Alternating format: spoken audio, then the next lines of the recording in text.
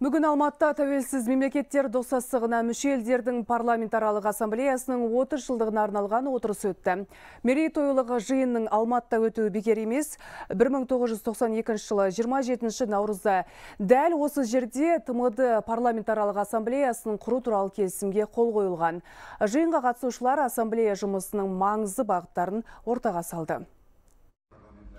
Алқалы жиын Қазақстан президенті Қасым Жомарт Тоқаевтың қатысушыларға жолдаған үндеуімен басталды. Үндеуді парламент сенатының төрағасы Мәулен Әшімбаев оқып берді. Мемлекет басшысы парламентаралық диалогтың достастық кеңістігінде көп жақты ынтымақтастық орнатуда ерекше рөл атқаратынына назар аударған.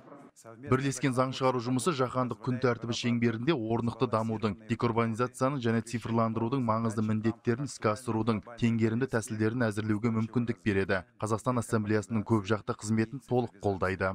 30 жыл ішінде парламентаралық ассамблея 600-ден аса үлгі заң қабылдап тмд елдерінің құқықтық базасын қалыптастыруға үлес қосты. Достастық елдерінің құқықтық жүйелерін жақындастыру арқылы олардың әр салада ынтымақтасуына жағдай жасалды.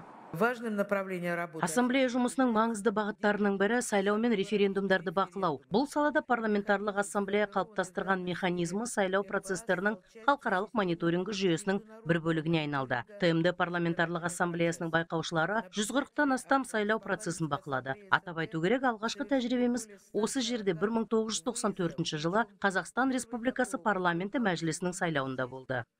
Тәуелсіз мемлекеттер достастығы парламентаралық ассамблеясының келесі отырысы күзде өзбекстан республикасында өтеді. Гүлжан көленқызы эдуард кон хабар 24 алматы.